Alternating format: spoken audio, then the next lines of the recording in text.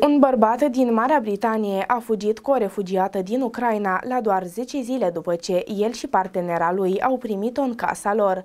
Spun că s-au îndrăgostit iremediabil, iar acum cei doi caută să închirieze o casă împreună. Tony are 29 de ani și este agent de pază. El și-a părăsit partenera de viață după ce s-a îndrăgostit iremediabil de Sofia, o refugiată de 22 de ani din Ucraina.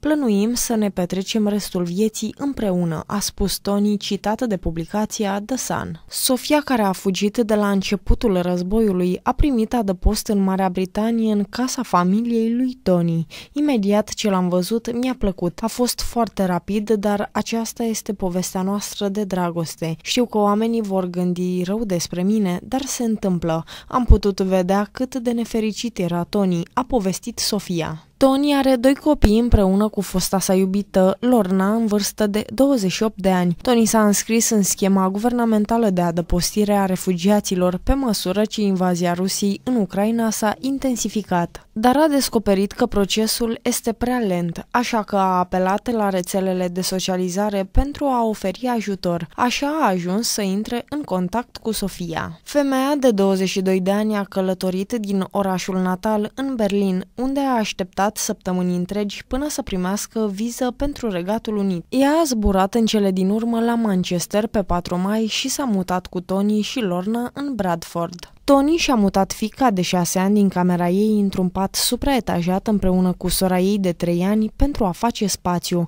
în ciuda obiecțiilor Lornei.